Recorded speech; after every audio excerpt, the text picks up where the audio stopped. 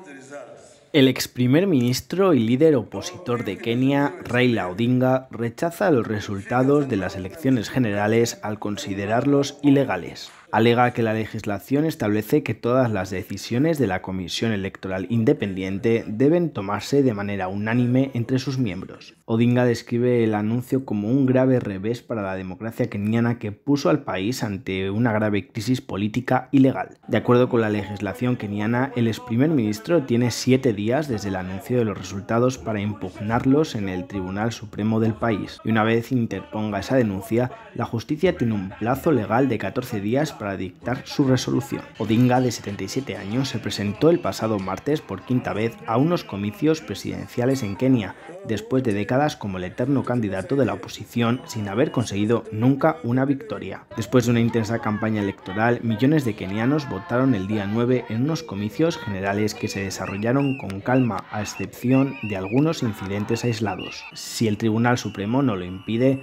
Ruto se convertirá en el quinto presidente de Kenia desde su independencia en 1963.